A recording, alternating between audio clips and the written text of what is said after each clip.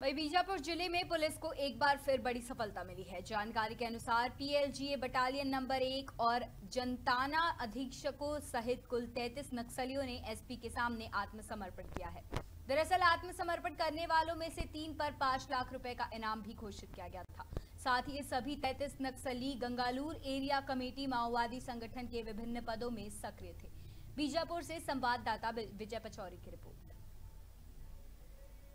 या जो करते हैं वो आईडी ब्लास्ट और जो रोड काटने का काम हो गया या रोड में बम विस्फोट कामों में ये इन्वॉल्व होते हैं। तो कई सारी घटनाएँ हैं जो आपको पीडीएफ में आपको मिल जाएगा।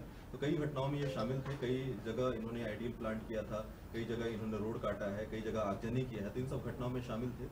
अब धीरे धीरे और भी इनके बारे में और इन, आ, हम लोग जब पूछताछ करेंगे तो और कुछ पता चलेगा किन किन घटनाओं में